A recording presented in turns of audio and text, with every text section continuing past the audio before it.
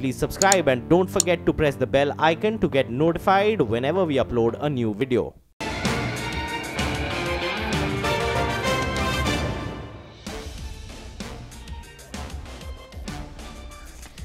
Hi, very good afternoon. You're watching Your Stocks on CNBC TV 18. I'm Ekta Batra and with me is Mangalam Maloo and it's turning out to definitely be quite a nerve-wracking session ahead of the budget. So we're down around half odd percent for the Nifty and what really seems to be more painful is what's happening with the mid-cap index which is at the low point of the day down around 2 odd percent with a weak advanced decline ratio as we speak currently standing at around 1 is to 2. A lot of results have peppered the screen in terms of reactions but as of now what also deserves attention is the kind of fall that we are seeing in terms of the frontline indices. We're still waiting by for numbers from ICICI Bank. That stock is down around 1.6% ahead of numbers, but something like Tata Steel, Dr. Reddy's, UPL, Lupin, all of these stocks are down anywhere between 2.6 to even 4% at this point in time. Not any better for the mid caps. Not any better for Or the rather mid cap. worse. Rather worse, Ekta. You know, you, as we speak, the mid cap index is down about uh, 2% and 1500 stocks on the NSE that those are in the red as against just about 500 stocks which are in the green. Three stocks in the red for one in the green the mid cap index at the low point of the day. And look at those two lines the red and the green ones only diverging further as we speak. But talking about green stocks among those 500 green stocks we have one stock which is rising which is PVR which is currently at the high point of the day. The company came out with the results which appeared to be in line. We were waiting for some internals and we have the internals. So the ad revenue that is fairly important we were working with a number of about 8%. The ad revenue for PVR has grown by about 12%. Next, uh, uh, net box office collections have grown by 8%. Food and beverages revenues have grown by 7%. We try and get in more details, but as of now, advertisement revenue growing by 11% is something that the street likes, and that stock is at the high point of the day. But first up, let's take a look at all the other stories that we're tracking at this point in, uh, uh, this point in time. The market slips today's low ahead of the union budget tomorrow. Investors lighten up positions. Key indices slip almost half a percent, while the mid caps take a beating down almost 2%. In key earnings today, ICICI Bank's profit is expected to fall 25%, but all eyes will be on the management commentary on stressed loans. Engineering major Larsen and Toubro expected to report a good quarter. CNBC TV 18 poll pegs the profit growth for the third quarter at 50%. A slew of metal companies also announced their earnings today. Vedanta expected to report a strong set on the back of rise in prices of crude, metals, base price, uh, and JSW Steel also expected to be strong on the back of a spike in global steel prices through higher raw material prices. We'll keep a check on the margins. All right, as we do that, uh, before we go into your queries, we have Kajaria Ceramics numbers flashing for you on your screen. We were expecting a double-digit volume growth there, a poll of 64 crores on the bottom line. The company's posted a net profit of 53 crores. Will be interesting to see what the, uh, the what the top line of the company is, and uh, just trying to get a handle on the press release itself. Uh, the top line should come up for you. Uh, the revenue is up 9%. We were We- expecting right. at least, um, yeah, that's the revenue growth for you. It's up around 9 odd percent. We were expecting a growth of around 12 odd percent. So that's come a little short of expectations. Uh, the net profit has come in at around 53 odd crores, like you mentioned. That is also short of expectations, and that's the reason why you're seeing that downtick come through on the stock down around 3 odd percent. So we were working with a revenue growth of around 12 odd percent. That's come in at 9 percent, and a net profit which is come in at around, uh, which is I think flat on a year-on-year basis. Um, it's at around 53 odd crores, I think, compared to around say 55 crores same time last year. EBITDA is 110 odd crores. Again, that is short of expectations. So let's see where the margins land up. Yep, 16.6%, 17 odd percent versus our expectation of around 18.7% in terms of margins. So overall, it's a you know top-down uh, sort of miss that we're That's seeing right, for Kajaria Um, at we do have the volume time. yeah. numbers as well. The company's posted a 10% volume growth. Remember the management telling us that they will go ahead and do post a 10% volume growth. The miss on the top line perhaps could be explained by the fact that uh, during the quarter there was lower prices. The prices on tiles, the GST on tiles was cut from 28% to about 18%. And that could have reflected in the revenue decline or a lower than expected increase in the revenue. What is a positive is the fact that the volumes have grown 10%. This is absolutely in line with what the management told us. And this looks a little more positive given Somany's numbers. But then again, the street is in no mood to uh, to be uh, any charitable to any sort of miss, even if it is on the top line or the bottom line. EBITDA is a bit of a miss. My sense is it could be because of the power prices, gas prices have increased, so that could have led to the miss on the EBITDA. Yes, you have it. The power prices, power and fuel costs up about 21% year on year at 120 crore. That compares to about 100 crores. So a lower revenue, lower pricing, and higher power uh, power costs have taken mm. a hit uh, or hit the EBITDA of the company, which has grown uh, uh, gone all the way down to the bottom line. Volume mm. growth of 10% is something that the street will like, but the numbers optically not uh, impressing not the street. meeting yeah. estimates. So obviously, uh, if in case there is volume growth of around 10 odd percent, then obviously pricing has definitely taken a hit this quarter, um, and we've already addressed that. But uh, just to put it into perspective, like Mangalam said, there's been a you know a, a, negative sort of reaction for most of the companies that have reported numbers. Dabur is down around two odd percent. We have uh, even something like uh, a couple of other numbers that were re released some time ago. For example, Arvind, which is down around three odd percent post numbers and now we're seeing that sort of reaction come through for Kajaria Ceramics as well. So it's not been a great day in terms of earning reactions, but we still have the big boys to reckon with, which would be Larsen and Toubro and ICICI Bank. So just keep your eye out in terms of the kind of disappointment most of the uh, most of the broader market numbers have seen at this point, barring PVR, which has managed to buck the trend. So PVR should come up for you.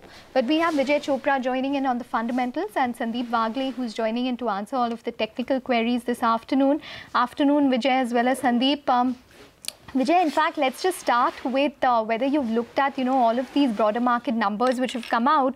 We were just discussing Kajaria, but if you've managed to look at what's happened with Dabur as well as Arvind? Yeah, so uh, overall, I would say the uh, it's a mixed bag. You know, uh, whatever we have seen with Dabur, there's a huge crack on the on the on the stock. Uh, but again, you know, I would say that it, it's a mixed uh, reaction of the anxiety in the market at this point of time. People are dumping stocks, they are staying light, and um, of course, you know, it, it's also the results uh, to some extent. So uh, I would say that you know, uh, while PVR is a has has shown good numbers. These are a bit of a dampener. But I think that, you know, as the market recoups back, these stocks will come back very sharply. So on a standalone basis, one quarter's result cannot be uh, taken into account. These are good companies, Kajaria as well as Dabur. I think that they are great classical uh, consumption stories and uh, we should wait for the dust to settle down. And I'm sure that markets would re- uh, would would rebound back, and so would the stocks. Uh, so no panic as such. You know, I would uh, like to tell all the investors that don't get into a panic mode and dump stocks like that. Uh, stay invested. These are great managements. These are you know good companies with over five to ten decades of uh, experience. So stay invested in these stocks. so no no panic as such in Dabur and Arvind and you know other companies. All right, no panic, but uh, the street doesn't uh, listen to that. The mid cap index is now down 450 points, the Sensex down 200 points.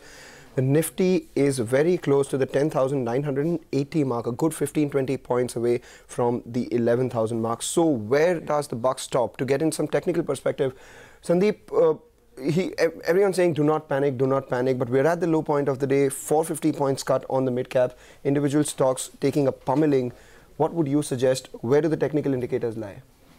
Afternoon, Mangalam. I see some more downside. I think we are getting into a major event, and you can't say that uh, all is well. I, I, think I see some more downside. Nifty can fall from the current levels by at least 100 to 120 points, and any move towards 11,000, 11,020 uh, I would be a seller. Yes, you do not panic if you are a long-term investor, but as a seller, uh, as a trader for a short term, for a few hours, for a few days, one needs to exercise caution.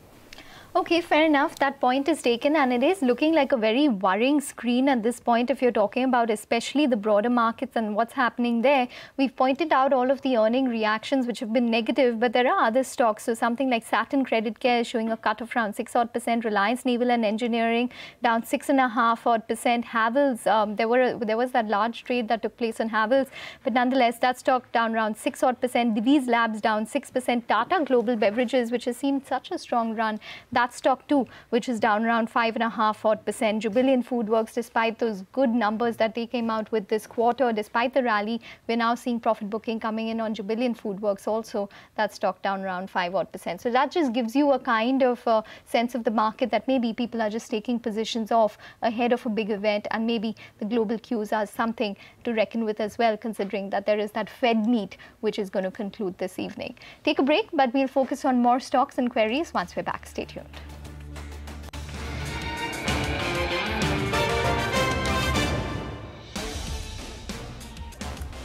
Welcome back. Uh, some bit of respite seen on the Sensex, which has recovered about 20 points from the low point of the day. Nifty to a 5-7 point recovery from the low point of the day. Not really can't call it a recovery, it's just about a bit of dilly-dallying at the low point of today's trading session. So let's get in quickly to the query that we have in, in, in terms of your stocks and your portfolio. So we have Jigisha who writes to us from Mumbai, holds 7,000 shares of JSW Steel at 210 rupees for the last six months. Medium term investor wants to know whether to hold or sell. 7,000 shares at 210 rupees, sitting on a fair amount of profit. Vijay, the company reports its results today, but from a longer pers term perspective, the company is one of the few companies which has the ability to expand. What, you, what would you suggest, uh, Jigisha, on JSW Steel? Uh, Mangalam, I would say that you know it's it's a company which has shown a complete turnaround in the last one one and a half years. And look at the entire Jindal Group stocks. Look at JSW, Jindal Steel and Power, uh, Jindal Steel Hisar. The entire group has done fantabulously well. And uh, my sense is that you know uh, they should post uh, good results and uh, the stocks should uh, respond positively. So if uh, this lady is a long-term investor, I would say that stay invested in the stock. Don't get panicked uh, by 10, 20 rupees uh, here or there. Uh, so just stay invested, and I think that you know the stock has the potential of reaching to 350, even 400 levels if somebody holds with a longer-term perspective. Yes, in the short term there might be some pain, as there is, as I said earlier, there is anxiety in the market. The um, the global markets are playing the spoil sport. Uh, and so, uh, so we might see some kind of a crack, you know, maybe 10, 15, 20 rupees. Uh, but in, with the longer term perspective, I'm fairly hopeful that JSW Steel should uh, reach uh, 350 and then the next target is 400. Okay, all right. That's on uh, GS, uh, JSPL and JSW Steel. But the, those are the NOCIL numbers which are flashing on your screen. And just look at the performance that it's seen on the bottom line. A net profit growth of around 81%, which is coming all, all the way at around 45 odd crores. And you can see the stock slip into the red, on into the green on account of those numbers. Revenue is also up around 40% to 250 odd crores. So it's really the street which is, um, you know, uh, really like, uh, uh, for example, gifting the stocks which have outperformed in terms of earnings and if your numbers are in line or maybe missing estimates, you know you're getting punished for it. Uh, so that's the performance which is coming in for NOCIL and we'll try and get you the margin soon enough as well. Well, we have... Um, well, I think we need to take a break now. we'll take a break. We'll focus on more queries once we're back. Stay tuned.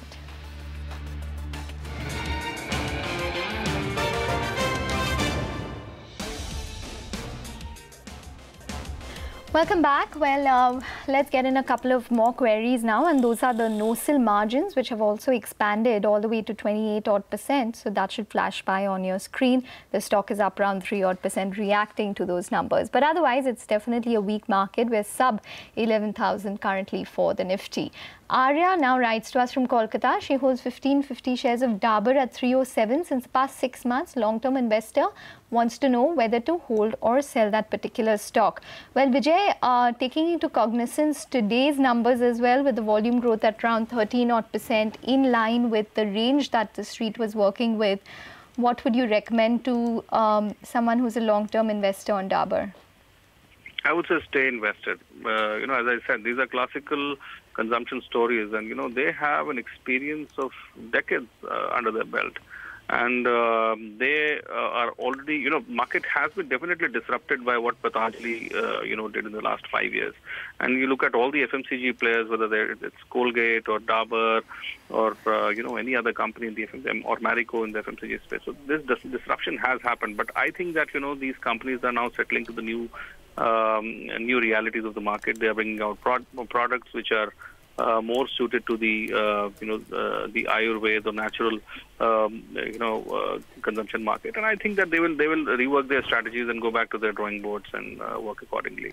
Uh, so stay invested. Long-term investors, no need to panic. I think that Dabur has the potential of going to 400, 420. But again, you know, with this kind of volatility and global markets trading at a high uh, it's a it is a possibility that you know you might see pressure on the stock prices in the short term, but long term I don't see much uh, problem uh, in companies like these. Okay, long term no problem. So let's get talking about the short term. Then, uh, uh, Sandeep, what would you say of Dabur? It hit that 349, 350 mark, recovered a bit. Do you think that's a support zone? And going forward, what could the hurdles be at till the 400, 420 target that which has been talking about? I would agree Mangalam with the target 415 430 is my 10 to 12 months target and I would recommend a hold with a stop loss of around 320 and this should be on a closing weekly basis ideally. Okay, all right, that's on Dabur. We need to take a break now, but more queries are solved on the other side.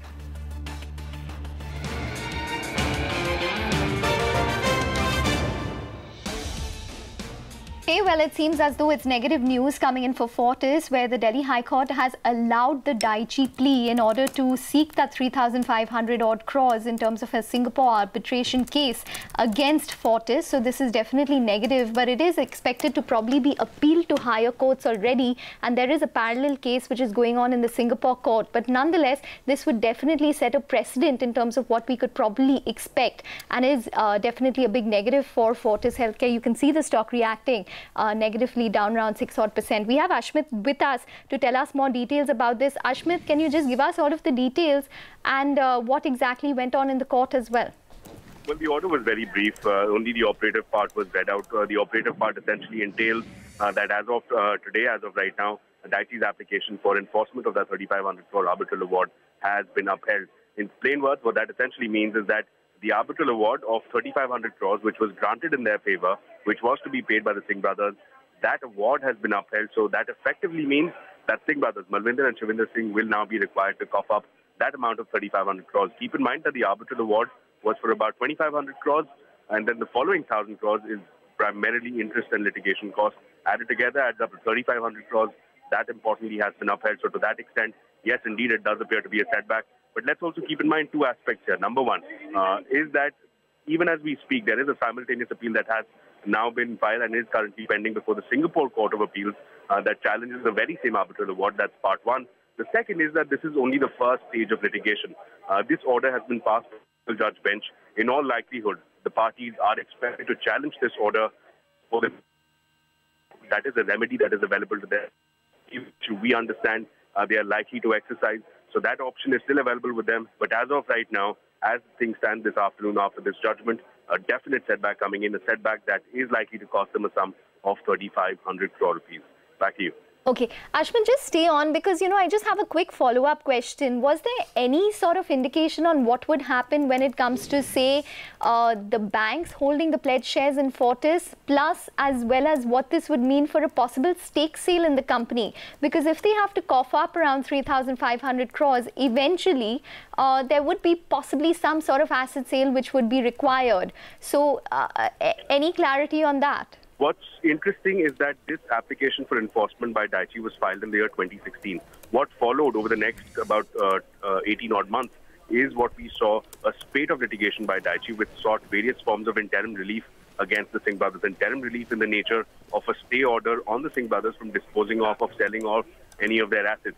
Uh, much to their relief, much to Daiichi's relief, the Supreme Court had granted an interim stay uh, that until the final order is passed, until this order is passed uh, today, until this order is passed, there would be an interim stay that the parties would not be at liberty uh, to go ahead and to sell their assets or to create third-party rights in any shape or form.